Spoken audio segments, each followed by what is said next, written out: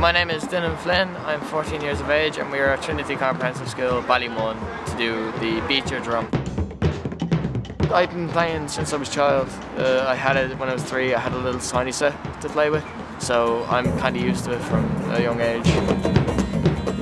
The actual feel of hitting the drum is just, uh, you can't take it, you can't take it away from it. It's great and it makes me enthusiastic about more things.